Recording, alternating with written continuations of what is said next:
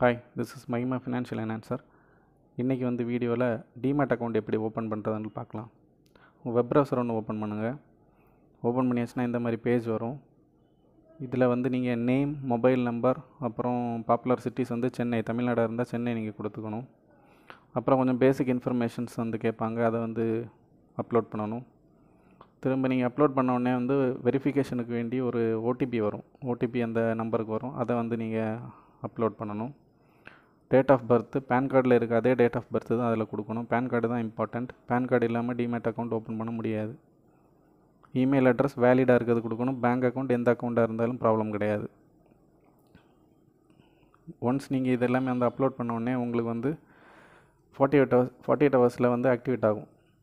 Activate ஆகும்போது உங்களுக்கு என்ன ஆகும்னா யூசர் ஐடி பாஸ்வேர்டு ரெண்டுமே வந்து உங்கள் ரெஜிஸ்டர்டு மெயிலுக்கு வந்து வந்துடும் இது நான் வந்து ஏன் வந்து உங்களுக்கு ஃபுல்லாகவே வந்து இதில் டைப் பண்ணி காமிக்கலைன்னா ஒன்ஸ் நீங்கள் ஏதாவது வந்து தப்பாக டைப் பண்ணிங்கன்னா அந்த இமெயில் ஐடி வந்து திரும்ப நீங்கள் ட்ரை பண்ணும்போது என்ன ஆகும்னா ஆல்ரெடி ரெஜிஸ்டர்டு வரும். ஸோ நீங்கள் இமெயில் ஐடி கண்டிப்பாக மாற்றி தான் போட வேண்டியது இருக்கும்.